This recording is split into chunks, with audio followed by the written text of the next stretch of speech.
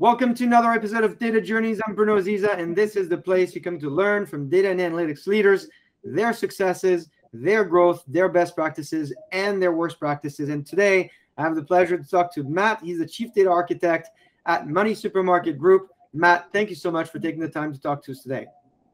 Thank you for having me, Bruno. All right. Well, so you won one of the Customer of the Year awards this year, and you've got lots of best practices. But let's get started with the basics. What does the company do? Well, we set out our purpose and our mission is to, to save UK households money. So we're one of the UK's leading um, price comparison websites, so offering insurance products, home services, and money products to, to the entire UK.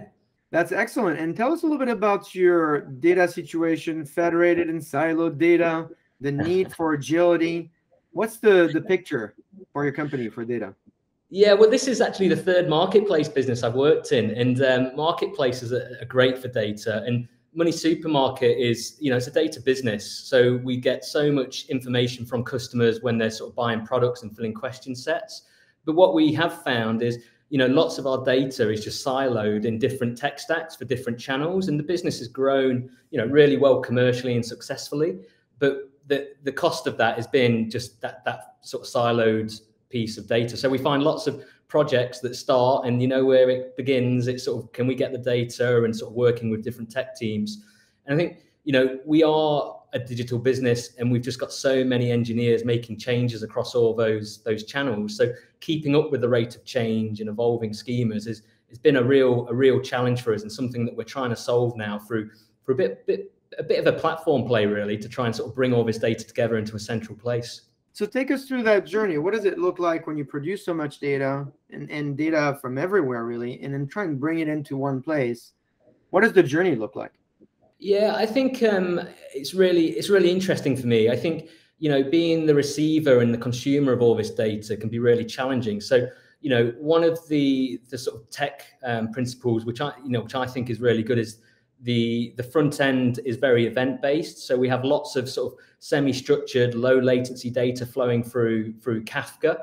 Um, so really our challenge was how do we start to build our data platform so it's event driven so it sort of works well with that event architecture. I think where we came from is you can fall into a bit of a trap where you just want to sort of try and batch that event data up to ingest it through traditional etl tools and i think one thing that we've really focused on with it, with our journey um, with GCP is how do we be event first in terms of how we collect that data across all of those different teams.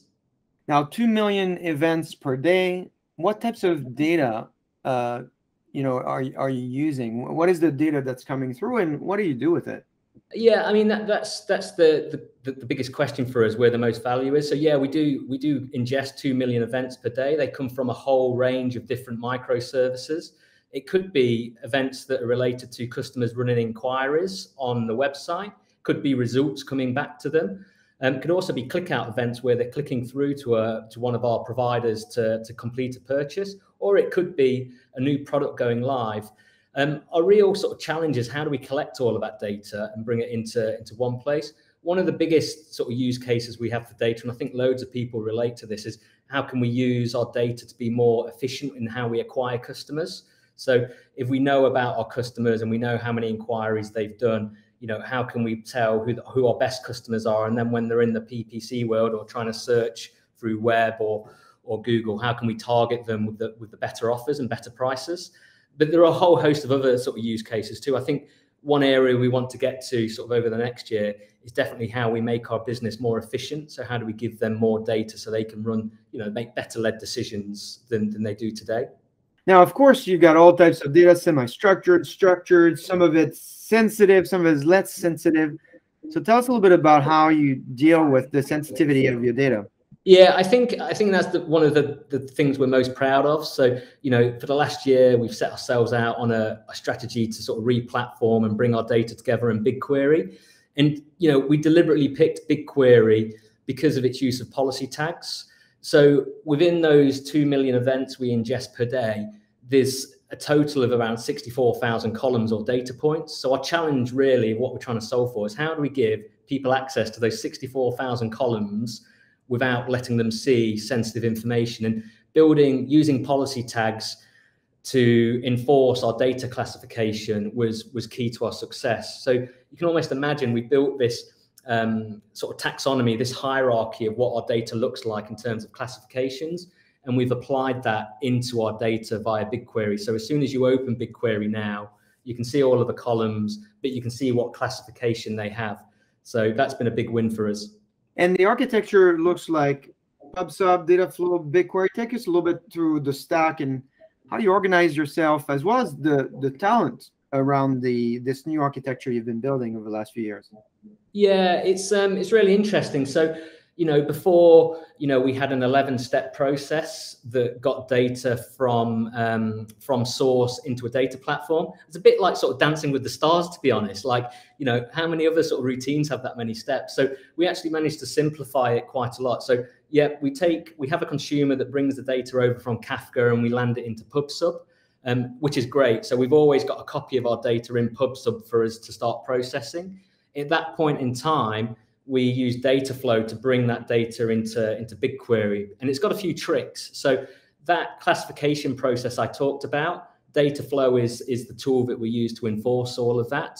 It's also the tool that we use to take some you know quite gnarly JSON and put it into a nice friendly um, BigQuery table. So if you looked in our environment, you would just see a simple here's a bit here's an event that just flows through into its own destination table, and we have sort of one table per topic.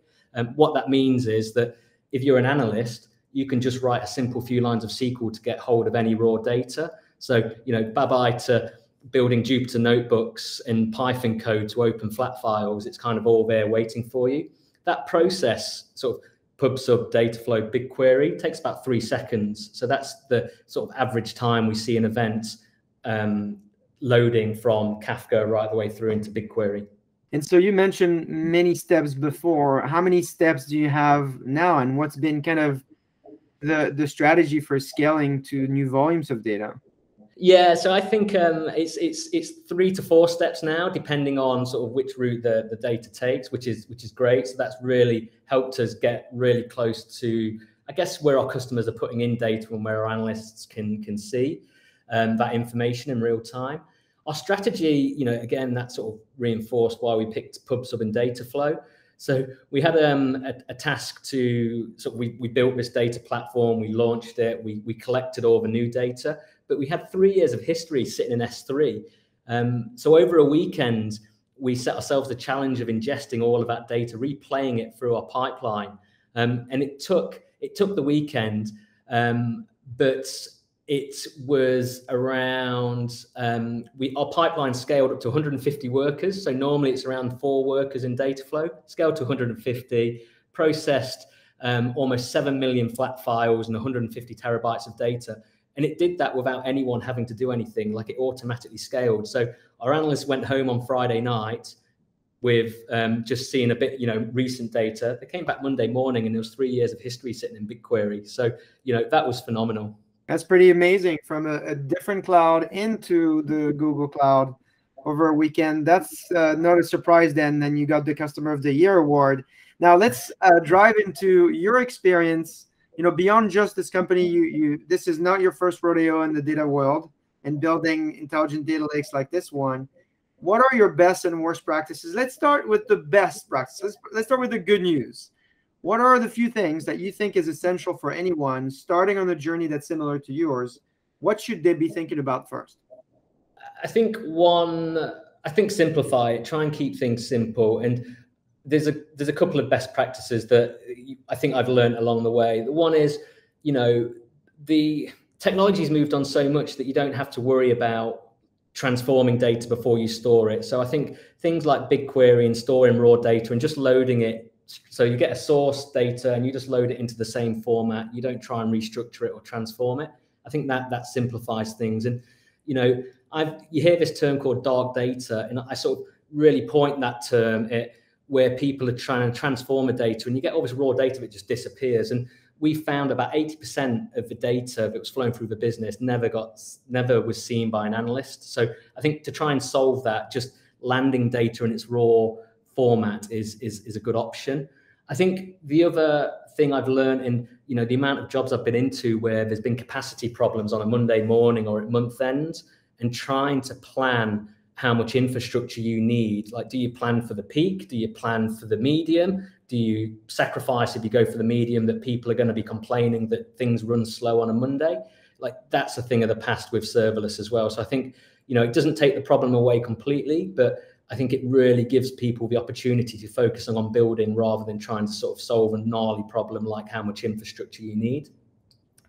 Um, so I think they would be the the two big things from from you know typical sort of projects I've experienced in the past. I think the final one would be privacy is becoming more of a thing, and it's not. I, I think you know in the UK legislation around GDPR and, and cookies, it's only going one way, so it's going to become a bigger thing. So I think focusing on privacy from the start is a lot easier than trying to do it once you've launched a platform.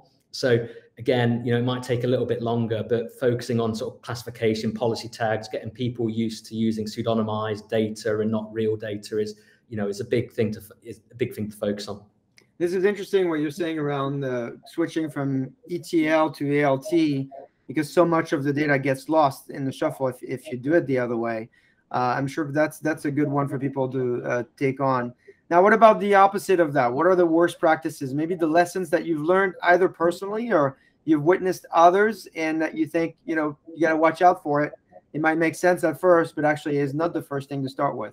You know, that's a really good question. I sort of you you sort of warmed me up to this before, and I was trying to think to it. Like, there's been loads of sort of mistakes that we've made along the way. I think you know if I look back to previous roles um, we ended up building a lot more than we perhaps should have. So, you know, I definitely things are moving so fast in the data space. So, you know, using things like Composer, using things like workflow, um, really saves your time rather than sort of building your own sort of orchestration um, element or, or, or, you know framework for processing data. I think that would be one.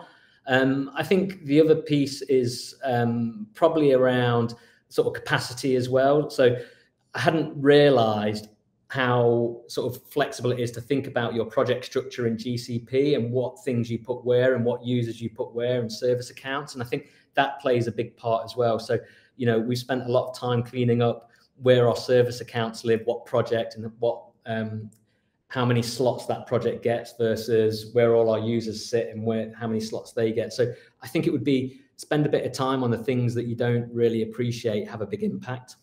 Well, Matt, thank you so much for the insights today. Going from ETL to ELT to discover that dark data, thinking about privacy administration first, uh, even though that might sound boring, it's essential. I want to thank you for the time today.